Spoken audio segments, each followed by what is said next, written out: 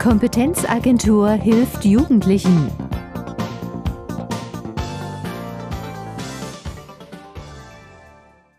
Seit März ist die Kompetenzagentur der Koba Harz auch in der Theaterstraße in Halberstadt zu finden. Sie ist Ansprechpartner für Kinder, Jugendliche und junge Erwachsene, die Unterstützung bei der schulischen, beruflichen und sozialen Integration benötigen. Oft sind fehlende Qualifikation und individuelle Probleme die Ursache für Schwierigkeiten beim Einstieg in Arbeit oder Ausbildung. Das richtet sich jetzt natürlich auch nach dem Alter, ganz klar. Ganz klar. Ähm, bei dem Übergangsmanagement Schule Beruf, das äh, betrifft dann die 15- bis 27-Jährigen, ähm, ist das hauptsächlich die finanzielle Absicherung, Perspektivlosigkeit, ähm, also bedeutet Berufswunsch unklar bzw. Ähm, Ausbildung abgebrochen. Ähm, und natürlich im Moment hauptsächlich Drogenprobleme, äh, Suchterkrankungen im Hintergrund, die natürlich da äh, immens im Weg stehen, sich beruflich zu orientieren.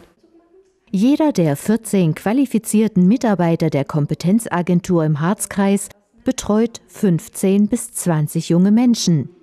Zum Beispiel ist Katrin dank der Unterstützung der Case Manager in den vergangenen zwei Jahren schon ein gutes Stück vorangekommen.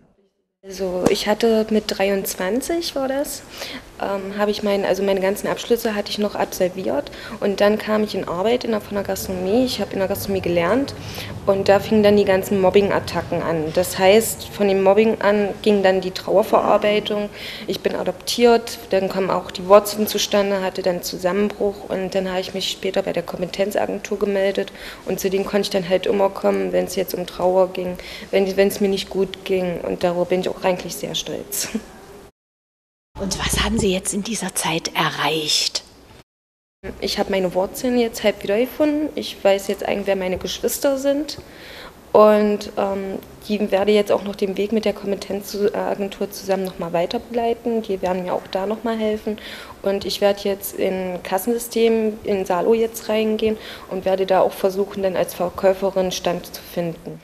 Bis Ende 2013 hatte die Kompetenzagentur 586 junge Menschen im Alter bis 25 Jahre intensiv unterstützt.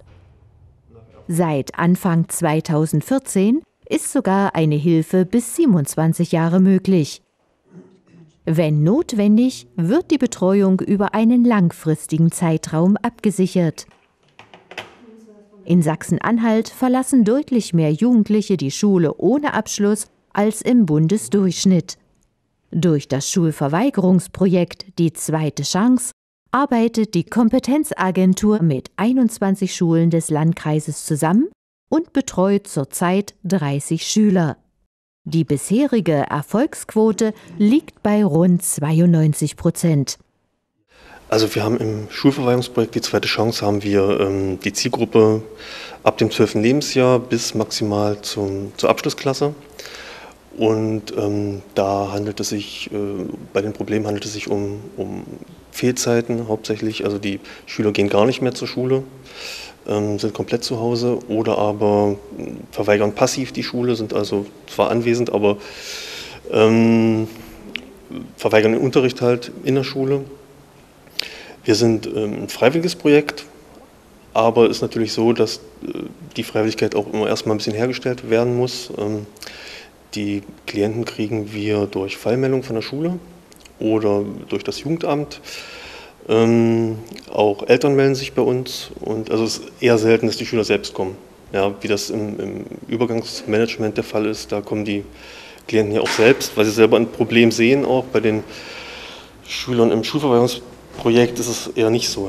Ja. Ähm, da spielen auch oftmals ähm, psychische Störungen eine Rolle. Also Angststörungen sind ganz stark, also nicht nur Schulphobie im engeren Sinne, sondern auch also generalisierte Ängste. Ähm, und da ist dann Aufgabe zu gucken, dass wir da mit den Eltern zusammen und mit der Schule zusammen einen Plan machen, wie es weitergehen kann. Außerdem werden jetzt Schulverweigerer ab sechsten Lebensjahr betreut, um möglichst früh positive Weichen zu stellen.